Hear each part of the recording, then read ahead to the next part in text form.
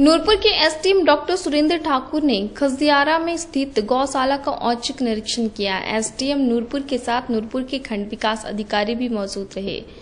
SDM Surendra Thakur ने पूरी गौशाला का अच्छी तरह निरीक्षण किया और निरीक्षण के दौरान गौशाला के अधिकारियों की जमकर क्लास लगाई। उन्होंने कहा कि गौशाला अच्छी हालत में नहीं है। इस गौशाला सदन में पाँच गौ शेड हैं। पाँच गौ शेड में लगभग 300 के आसपास गाय जहाँ पर रह रही हैं। आज आकर देखा कि चार गाय बीमार हालत में थी। अभी उसे पशु औषधालय में भेजा गया है। यहाँ पर उनका अच्छी तरह से इलाज चलेगा। और डॉक्टर सुरेंद्र ठाकुर ने बताया कि, डॉक्टर सुरेंद्र ठाकुर ने बताया कि निरीक्षण के दौरान ऐसा पाया गया है कि पशुशाला के कर्मचारियों ने समय पर गायों को चारा नहीं दिया है, जिसके लिए उन्हें उनको दिशा निर्देश भी दिए गए हैं और उनके विभाग को भी इस बारे में सूचना दी जा रही है। पशुशाला के कर्मचारियों को निर्देश दिए गए हैं कि भविष्य में गायों को तीन समय में चारा दिया जाए।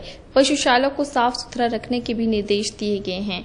उन्होंने कहा कि अब वे हर दूसरे दिन गौशाला का निरीक्षण करने आएँगे। आगे से उनको कोई भी शिकायत मिली तो वे किसी भी प्रकार की कार्रवाई से गुरेज नहीं करेंगे। उन्होंने कहा कि बेजुबान पशुओं के मामले में किसी प्रकार की कोताही नहीं बरती जाएगी। मैंने आज निरीक्षण किया है पशुशाला में आकर इस गौसदन में आकर। गौसदन जो है बहुत अच्छी कंडीशन में नहीं है। इस गौसदन में हमारे पास पाँच काउ शेड है और पाँच काउ शेड में लगभग तीन सौ के आसपास जो है हमारे पास एनिमल्स यहाँ रह रहे हैं।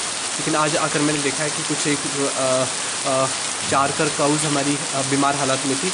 अभी हमने उसे हॉस्पिटल में क्या कहते हैं अभी हॉस्पिटलाइजेशन करवा रहे हैं हम काउ की और वो बहुत वीक कंडीशन में है हम आइसोलेटेड करके उनको जो है सेपरेट हाउस में भी रखना सेपरेट काउ शेड में हम उसे शिफ्ट करने के ऑर्डर मैंने हैं।